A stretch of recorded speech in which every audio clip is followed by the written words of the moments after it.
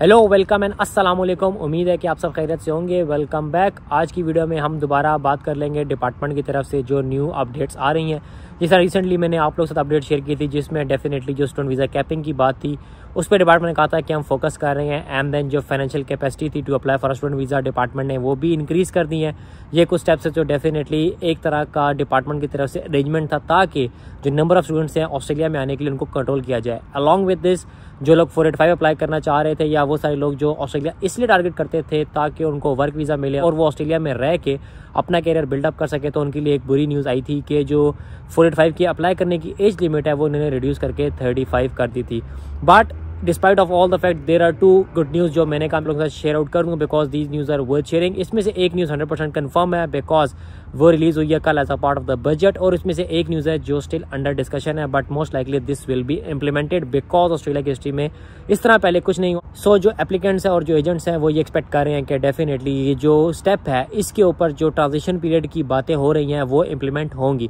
तो news number one आपसे share out करता हूँ कि वो सारे लोग जो डेफिनेटली यहाँ पे जॉब्स कर रहे थे और वो फोर एट टू को टारगेट कर रहे थे तो उनको ये पता होगा कि फोर एट टू अप्लाई करने की जो एलिजिबिलिटी थी दैट इज़ टू ईयर्स अगर आपका दो साल का वर्क एक्सपीरियंस है रिगार्डलेस दुनिया में कहाँ पे है तो आप फोर एट टू अप्लाई कर सकते थे which is a employer sponsorship visa लेकिन ये आपको अलाउ करता है कि आपका एम्प्लॉयर आपको स्पॉन्सर कर सकता है if you have around two years of work experience लेकिन डिपार्टमेंट ने कहा है कि from twenty third of November two thousand twenty four जो टू ईयर्स की वर्क एक्सपीरियंस की लिमिट है, इसको हमने रिड्यूस करके वन ईयर कर दिया है। बिकॉज़ अगर आपका एक साल का एक्सपीरियंस है तो this will allow you to be sponsored by your employer ये स्टेप इसलिए लिया गया है क्योंकि यहाँ पे जो एम्प्लॉयर स्पॉन्सरशिप है, उसको इनक्रेज किया जा रहा है। जिस तरह कल की वीडियो में मैंने कहा था कि इन्होंने एम्प्लॉयर स्पॉन्सरशिप के जो वीज़ाज हैं, उनका फिगर बढ़ा दिया है। उसका भी रीज़न यही था क्योंकि ये टेक्निकली प्रमोट करना चाह रहे हैं एम्प्लॉयर स्पॉन्सरशिप्स को। दूसरी वजह यह कि वो सारे लोग जो यहाँ पे स्टूडेंट वीज़ा पे आते थे एंड देन डेफिनेटली उनको दो साल की टीआर मिलती थी। जब आप अपने स्टूडेंट वीज़ा फिनिश करते हैं, जब आप अपने टीआर पे जाते हैं और आपके पास कोई एक्सपीरियंस नहीं होता तो आपको जॉब ढूँढने में थोड़ी सी मुश्किल होती है। लेकिन for example if someone is lucky और वो दो महीने में जॉब ढूंढ भी लेता है तो स्टिल उसके पास एक साल और दस महीने होते हैं,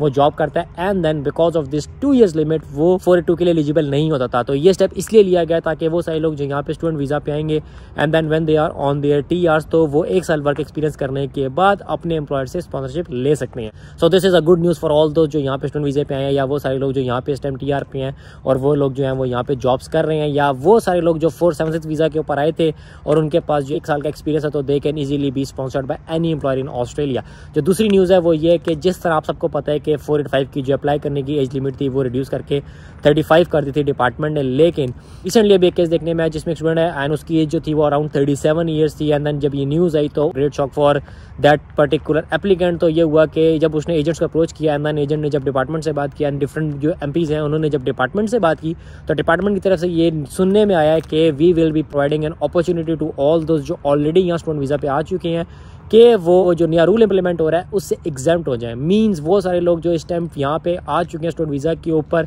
और उनकी जो एज लिमिट है वो अराउंड थर्टी फोर या थर्टी फाइव हो चुकी है, और फॉर एग्जांपल उनका एक साल बाद कोर्स खत्म हो रहा है and when their course is finished तो उनकी एज जो है वो थर्टी फाइव क्रॉस कर जाएगी। तो technically with implementation of new rule वो एलिजिबल नहीं होंगे फोर एट फाइव के लिए। बट वो सारे लोग जो ऑलरेडी ऑन शोर है डिपार्टमेंट ने कहा है कि रिगार्डलेस उनकी एज थर्टी फाइव क्रॉस हो जाए, हम उनको अलाउ करेंगे कि वो फोर एट फाइव अप्लाई करें. बट ये बताना बहुत ज़रूरी है कि ये स्टिल अंडर डिस्कशन है. इसके बारे में प्रॉपर ऑफिशियल अनाउंसमेंट डिपार्टमेंट की तरफ़ से नहीं हुई. ये ज़रूर सुनने में आया कि डेफिनेटली इसके ऊपर काम हो रहा है और डिपार्टमेंट ये चीज़ कह रहा है कि हम ये इंश्योर कराएँगे कि वो सारे लोग जो यहाँ पे आ चुके हैं, उनको किस तरह का इफ़ेक्ट ना पड़े because of this new rule अब ट्रांजिशन पीरियड ये होता है कि जब भी कोई नया रूल इंप्लीमेंट होता है ना तो जो एप्लीकेंट्स होते हैं, उनको टाइम पीरियड प्रोवाइड किया जाता है कि इतना टाइम है, इसके बाद ये रूल इंप्लीमेंट हो जाएगा सो दैट वो सारे लोग जो ऑलरेडी उन वीज़ाज के ऊपर होते हैं, या वो सारे लोग जो वीज़ा टारगेट कर रहे होते हैं, या वो सारे लोग जो एलिजिबल होते हैं, उनको किस तरह का इम्पैक्ट ना पड़े। लेकिन